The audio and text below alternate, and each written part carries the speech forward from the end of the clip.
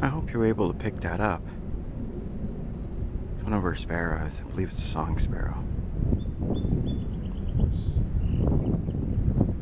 Again, singing here in the spring.